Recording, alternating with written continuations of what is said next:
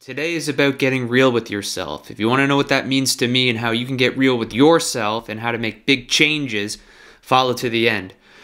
Getting real with myself. What does that mean?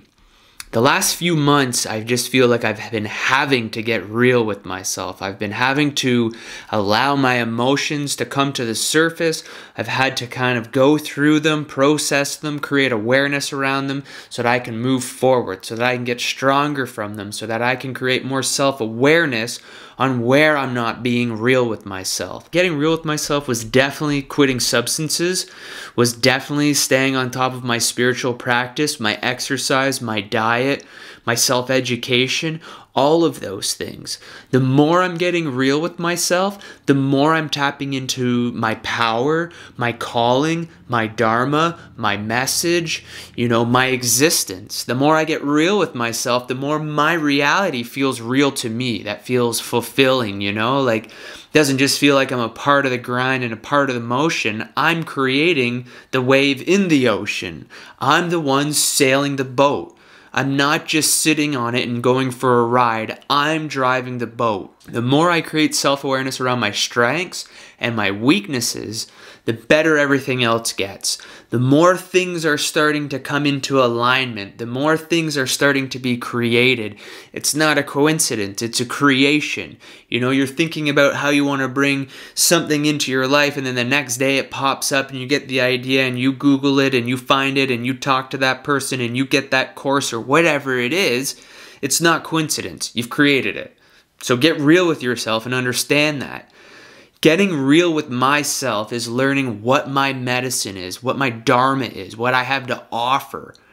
I was living a life that didn't feel fulfilling. I was on autopilot. I was getting stoned out of my mind all day long just to cope with going to work. Yeah, it was interesting. Yeah, it was super fun. Yeah, it was a great opportunity. But it was taking me away from something that was more meaningful. But I wasn't being real with myself. I wasn't listening to that. I was going home and I was kind of coping with that, shoving it down, and waking up and continuing the cycle. Getting real with yourself is kind of realizing are you in a job that's not serving you? Are you in a relationship that's not serving you? Are you living in a place that's not serving you? And if none of those things are serving you, what do you need to do to change that? How real do things need to get? How real do things need to feel for you, for me, to make a change? Do you know what I mean? It's like we're in a time of change right now. So many things are changing outside, which means many, many, many things are changing in here. The more we can tap into the changes going on in here, the more we can control the changes that are going on out there. So, everybody here in this lifetime, walking on the earth right now, has a calling, has a dharma, has a message, has medicine to offer. It could be creating sculptures, beautiful sculptures or artwork. Uh, it could be, you know, personal fitness, personal training. It could be therapy. It could be yoga. It could be coaching. It could be YouTube videos. It could be a cooking channel. Anything. Everybody has their own kind of calling. Everybody's calling is a little different than everybody else's, but the difference between people who are fulfilling the calling and the people who aren't, those people got real with themselves. Those people started listening to what was going on in here versus what's going on out there. The more we can tap into our inner self or our higher self and connect and realign, you know, by doing many different things that I've been talking about spiritual practices, exercise, nutrition, getting real with yourself. All of those things are getting real with yourself. Everybody has something inside of them that's speaking, and you have the choice to listen to it or not. It can be scary. Just like that video I made, big changes can be scary.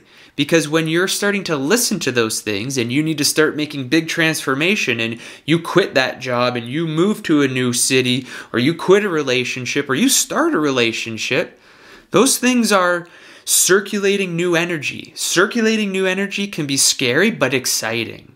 Life transformation is scary but exciting. You know, when we start to kind of look at it feeling scary and then shift it more towards excitement or fulfillment, th- th- that'll change a lot. So, getting real with myself is something that has been coming up for a while, and that's why I want to make this quick little video. How have I been getting real with myself? How are you getting real with yourself? Or how do you need to get real with yourself? And if you get real with yourself, what will change? What will change in here? What will change out there? How will it make you feel? You know, what kind of transformation is going to come to you if you get real with yourself? The more we get real with ourselves, the more reality gets real with us. I'm not sure if this means something to anybody out there. It's just something that was coming up for me. I thought I'd make a quick video, get it out, put it on my YouTube channel, and see where it goes. I hope you enjoyed it. If you did, please comment, like, subscribe, share it, and we'll see you on the next one. Be well.